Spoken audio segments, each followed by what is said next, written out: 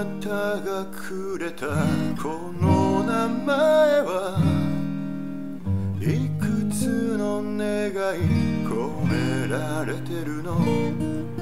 そこから見える私の素顔は？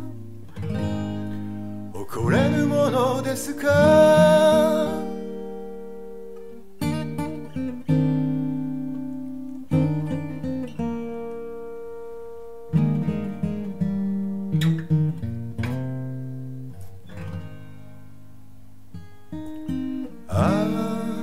に嫌いで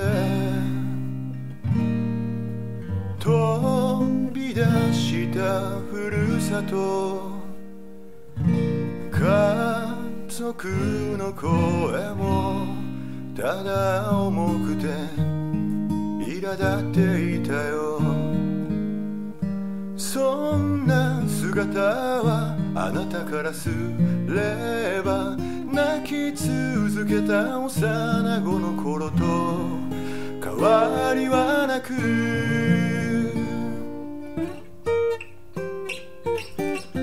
いくつになっても同じだと子供扱いするばかりで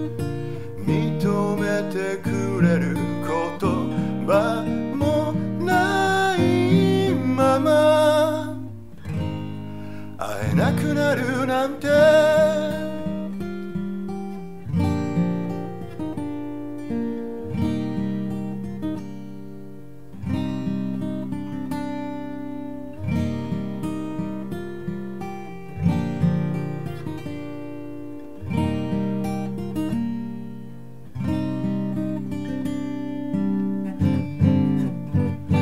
年に一度の誕生日だ。から照れずに言うよ産んでくれてありがとう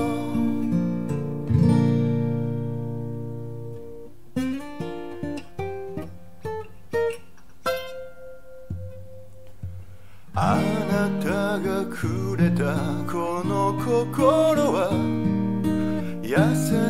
しいした。自分じゃなくて家族の笑顔を。願ってる人。いつか会ってください。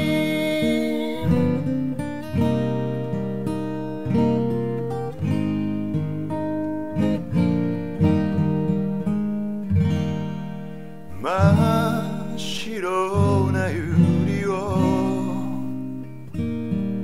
写真に飾ろう。聞いてもいいかな認めてくれるかなこの生き方を